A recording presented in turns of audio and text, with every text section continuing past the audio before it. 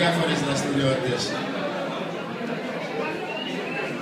Εκτός από τις συνηθισμένες ευχές, καλή χρονιά, χρόνια πολλά, υγεία, θέλω να συγχαρώ το Προεδρείο του Συλλόγου Κρητών και ιδιαίτερα τον κύριο Μανιδάκη για τις δραστηριότητες του και να τους ευχαριστήσω γιατί με αγκαλιάσανε, γιατί με νιώ, ε, νιώθω στο σύλλογο σαν να είναι σπίτι μου, το νιώθω όλους σαν αδέρφια μου